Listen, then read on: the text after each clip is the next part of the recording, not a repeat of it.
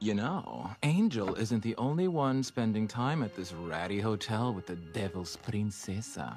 Let's talk about your friends. They didn't have to be here. They had a place on the train and you took them out of it. You brought them here. You put them in danger. I've never seen him before. He must have made a mistake. Thought that I was someone else.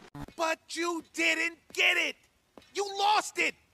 Better go home before you get beat up by your timing. Uh, nothing. I just, yeah. Yeah, actually, that's exactly what I wanna- I understand that conflicts with your occupation, but it doesn't matter. How messed up is that?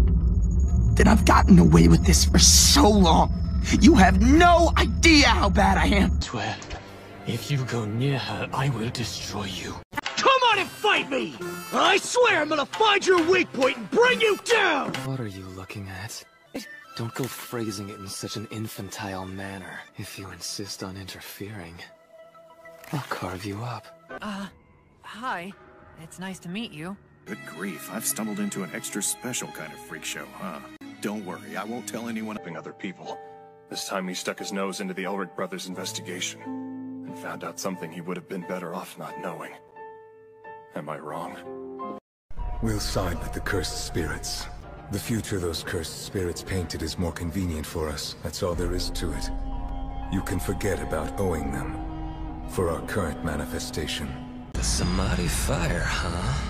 You have more guts than I thought. Take it from me as an expert on what happens when you get too close to the king. Look out for number one. Because if you don't, no one will.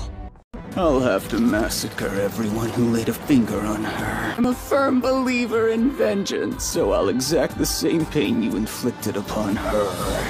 When you die, those words will ring through your skull. I'll show no mercy! Not a blemish, birthmark, or scar to be seen anywhere. I envy you. Oh, I envy you. Would you mind just dropping dead and in the most agonizing way, like getting skinned alive, or maybe even getting that belly of yours slit open? What a shame. Out of all the Grimwalkers, you look the most like him. I shouldn't have dragged you into this. Any of you. But you're in, and you need to know. I need to tell you. I know things are scary, and I don't know what the future holds. But it would be so cool if you were a part of that. But no more hiding, okay?